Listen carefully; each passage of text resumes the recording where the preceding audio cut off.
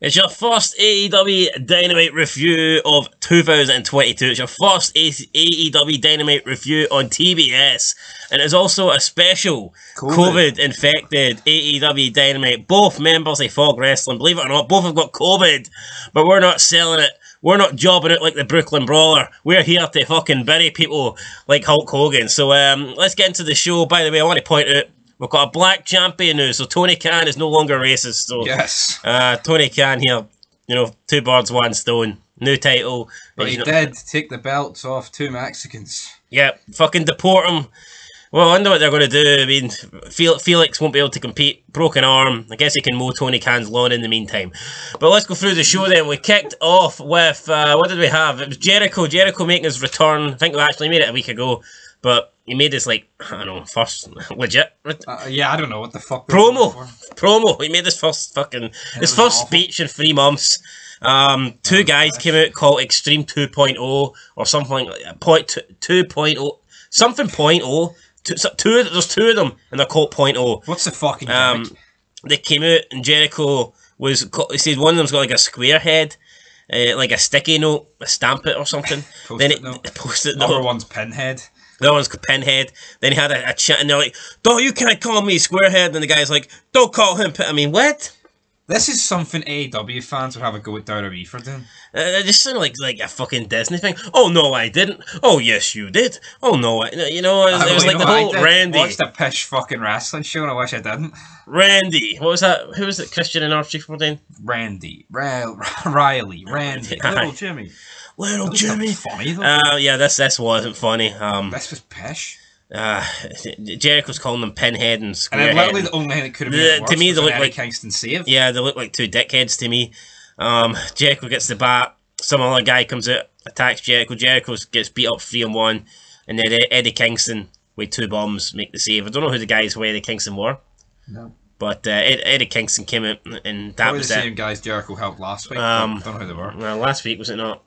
Spiky, oh yeah, um, uh, what's uh, Spice, uh, spicy meal. Um, uh, the, the, the LAX ripoffs. Aye, them. Aye. that's the ones. Yeah, that's the yeah. Ones, yeah. So see this whole oh, the, it's a lot of because I think the LAX proved that right. It's not that they were ever the greatest team, but in, in TNA they were good and had that fucking great theme song. You know, oh Latin Americanos and the gunshots at the start. And Kona, do a good fucking razor's edge. You know, uh, homicide like was pure killing people. Like the Gringo killer.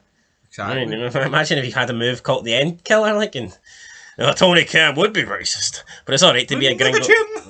It's all right to be a gringo killer, but um, yeah, these these are just two fucking Mexicans called LAX.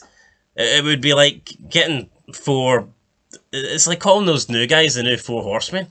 Absolute shit. Who is it Tully's with here? You know, Shawn Spears. I mean, it's nothing to do with the horse. It's just a name. It's like look at the NWO and WWE, you know, and it's just like it's going it to absolute shit. It was at the beginning, and then it just became.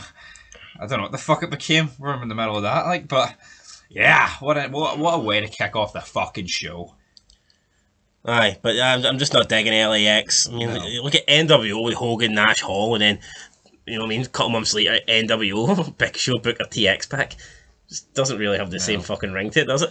Uh, yeah, shit way to start the show. Then we moved on to, I believe it was Malachi Black.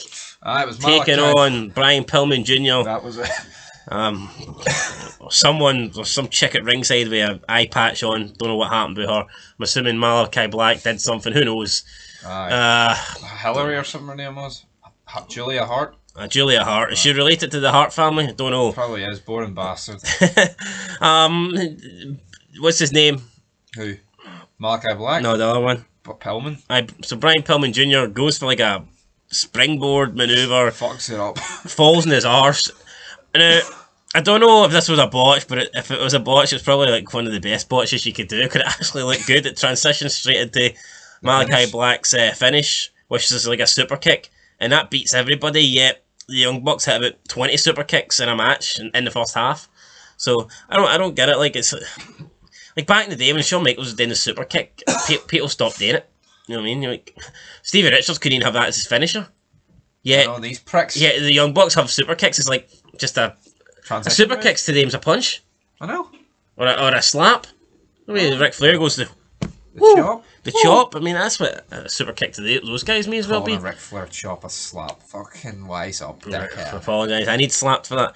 Uh, then we had Mr. Mayhem continuing to wreak havoc, which I believe is Wardlow. He, he Yep. powerbombed some guy that I've never seen before. Also, Malachi Black, uh, he's the heel, but he was he was looking strong against four guys, and he just did the whole black disappear thing. Absolute piss. Yeah, so Malachi Black's about to come up and beat up Brian Pillman Jr. after the match, and, and three guys run it to make the save. It's like, Can't remember How can these were, to be honest, but it was the tag champs and someone else.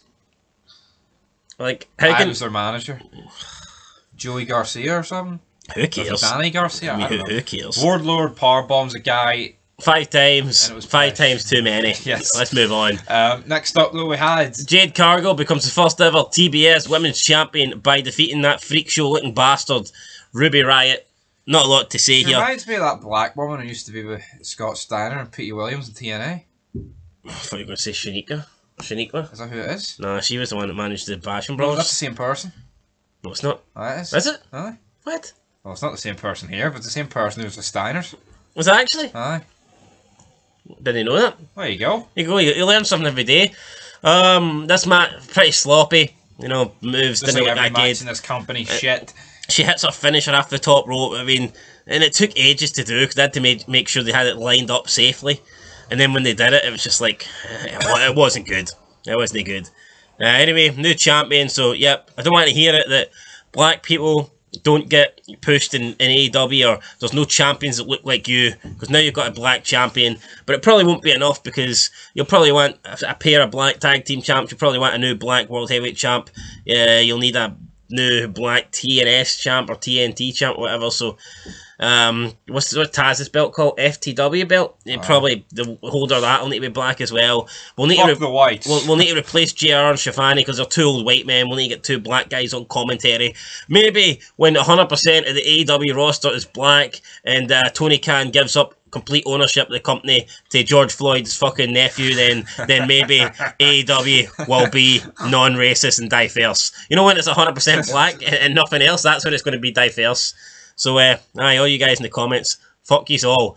Let's move on though. Talk about Jade. Cargill, new champ. Yes, we had uh, Jim Ross sitting down with Serena Deeb, and this was Right, see Serena Deeb, not even going to waste time here. The only thing she's fucking known for, right, is getting her. her head in the And, as and, and let's be honest, most people only know that's who it was, no. right? Um, ben Hameen can say she's the best women's performer of all That's only 'cause time, from Uh, fucking shitty rat. along along with Mickie James. But uh, he's obviously, you know, he's obviously got a personal connection with two of them or whatever. He works with them. I mean, that's lame, right? Just because I work with someone, I wouldn't say oh, they're the greatest ever.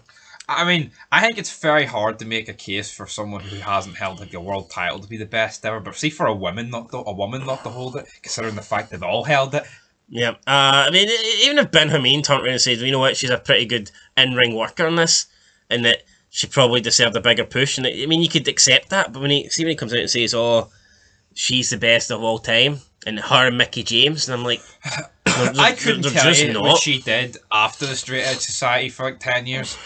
fucking retired Ring of Honor. Who knows? But anyway, she says she's the best. No one can come close to her. She asked Jr. Is there anyone on her level? And Jr. said no. I find that astonishing. I find that astonishing how much like they fucking hype up Britt Baker and CM Punk's put her on the four pillars and all this stuff. Yet apparently Britt Baker's no not even close to Serena Deeb's level when Britt Baker's a champion. I don't even think Serena Deeb's actually won a match on AEW. So, uh, bit weird. There we go, guys. Awful. Waste of a minute 47. Next up, probably a waste of 7 minutes 03. We had MJF against some guy. I can't remember his name. Um, out comes Punk. Punk hits him with a GTS. Good night. DQ. That guy. Crunchy, picks I think it was. win. Was it? Alright. I think that was his name. Oh, is it? Alright, alright, fair enough. Can you feel the crunch?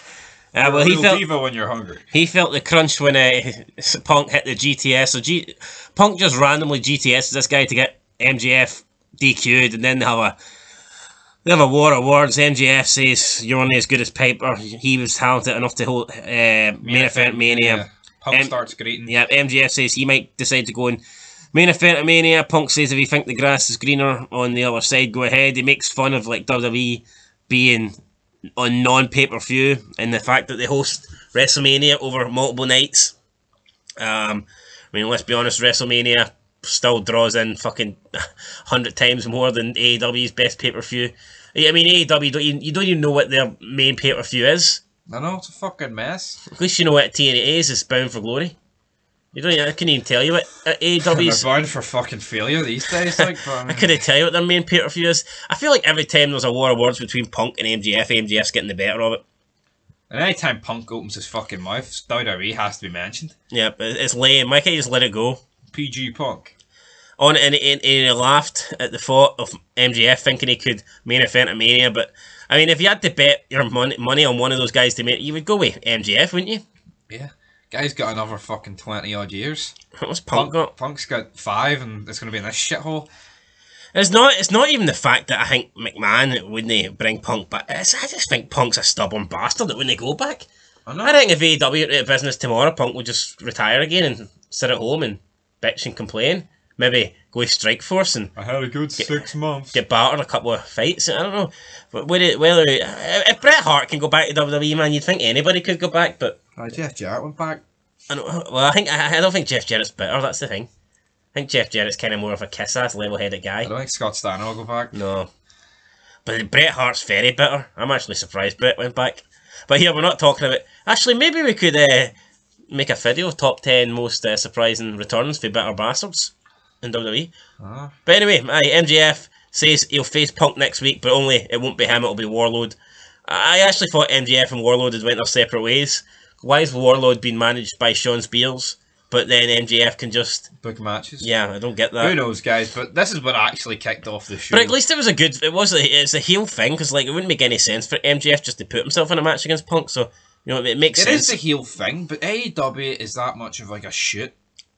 It's like why the why is he even doing heel tendencies? You know what I mean? It's like how it works when you actually. I don't know, but at least Punk's like, oh, the differences between me and Piper is we'd fight anybody. At least, at least they're going with the whole face heel thing. You know what I mean? Like, I give, I, give, them, then, I give them that. But then they're like, but then like they're like admitting it's fake.